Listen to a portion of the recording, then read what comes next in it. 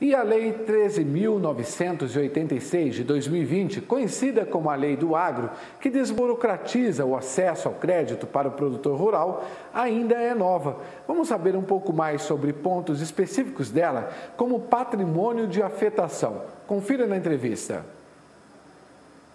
Ah, uma das inovações da, da MP, que foi convertida em lei, porque, como você descreveu, ah, nós tínhamos esse problema de sobregarantias.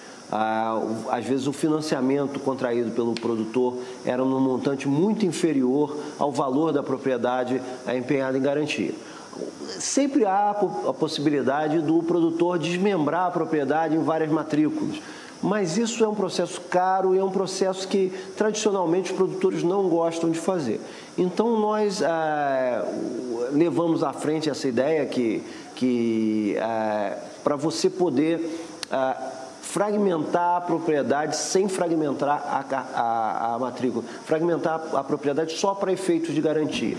É, naturalmente, a, essa garantia ela é facilmente executável também, quer dizer, o produtor é, tem que estar ciente que tem a possibilidade ah, de, de, de, perder a terra se ficar inadimplente, mas ele perde só aquela fração nesse caso. Então, isso melhora o crédito, dimensiona melhor as garantias e a gente acha que isso pode incentivar muito ah, o crédito privado no meio rural aqueles produtores da agricultura familiar, até quatro módulos fiscais, eles acabam não sendo beneficiados né, com esse tipo é, de, de ponto que é, que é abraçado pela lei do agro, né? Existe alguma movimentação do Ministério da Economia com o Congresso Nacional para fazer com que é, esse ponto da lei consiga atender também os agricultores familiares?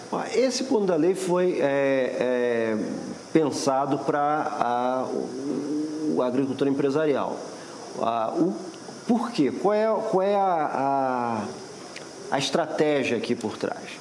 A estratégia é que a gente desenhe mecanismo de mercado para o agricultor, para o agropecuarista é, empresarial, que ele possa conseguir taxas de juros cada vez mais baixas no crédito livre, para que a gente possa direcionar cada vez mais o crédito subvencionado para os agricultores familiares. É uma, uma, uma a, uma preocupação muito grande do ministro Paulo Guedes com essa, essa, essa focalização da subvenção nos agricultores familiares. Então, mas a estratégia é liberar crédito livre cada vez mais barato montar instrumentos cada vez mais baratos para o crédito livre, para os empresariais, de forma que a gente possa pegar a subvenção e focar na agricultura familiar. Essa é a estratégia. É, os agricultores familiares também já estão é, com um certo, é, uma, uma, certa diferença de tratamento que é legítima no plano safra, né?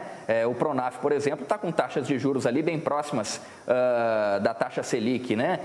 É uma forma meio que de compensar, meio que saindo um pouco aqui, não só da lei do agro, mas o, a agricultura familiar ela é atendida também de outros meios como esse, por exemplo, né? Essa, é, essa é a ideia, porque quanto mais mecanismos privados nós tivermos é, mais acessíveis pra, para os agricultores empresariais, mais ah, facilidades a gente vai poder dar no, no, no crédito rural oficial para os é, agricultores familiares.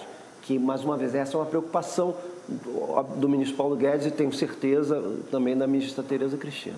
Bom, e aí a gente vai passando para o outro ponto aqui que chama a atenção também da Lei do Agro, 13.986 de 2020, que é aquela do Fundo Garantidor Solidário, Fundo de Aval Fraterno, né? Ela acabou mudando de nome, ficou como? Ficou Fundo é, Garantidor Solidário, né?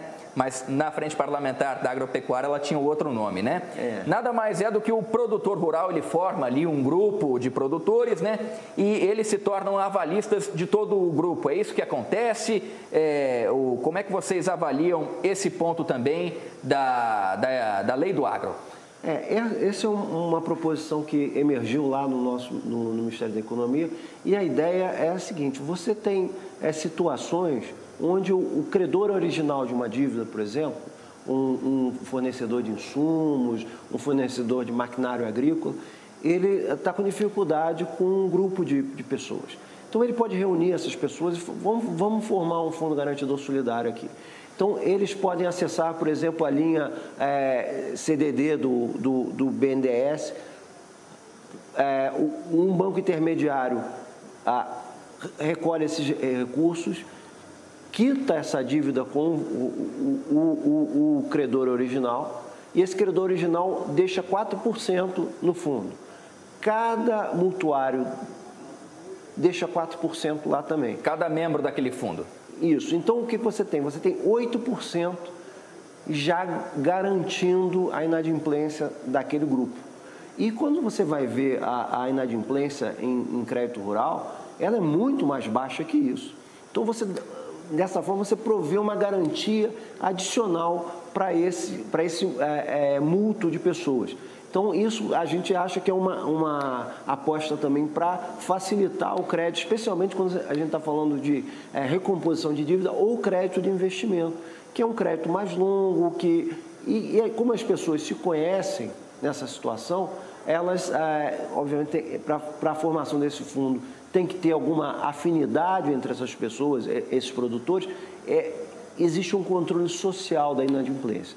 Isso tem dado certo em vários países do mundo, ah, nós temos ah, na, na, França e na Itália, isso é usado não só no, no crédito agrícola, mas também no, no, no microcrédito.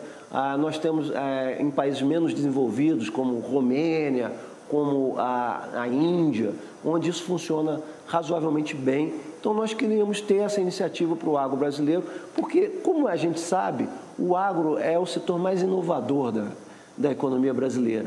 Então, é um setor aberto a inovações e a gente achou por bem é, testar essa inovação aqui também. Pode ser uma coisa que dê certo e que vá facilitar o crédito para o agropecuarista brasileiro. Como é que o produtor rural interessado em fazer parte desse fundo garantidor solidário ele deve proceder? É, ele tem que fazer parte desse fundo com vizinhos, com produtores rurais próximos ali da região? Não necessariamente. Qual que é o procedimento que deve ser adotado? Olha, isso tudo depende do, do, do crivo bancário.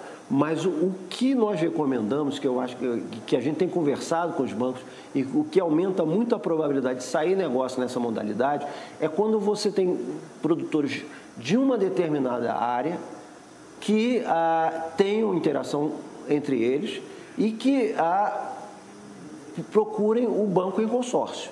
Então, formem um consórcio, inicialmente informal, e procurem um banco falando, olha, nós temos aqui 10 produtores ah, de soja no Rio Grande do Sul. Eh, nós queremos eh, utilizar essa linha ah, usando o Fundo Garantidor Solidário. Quais as vantagens que você, banco, oferece para a gente nessa modalidade, uma vez que essa modalidade já implica em garantias adicionais de saída? Nós queremos negociar uma taxa de juros menor aqui.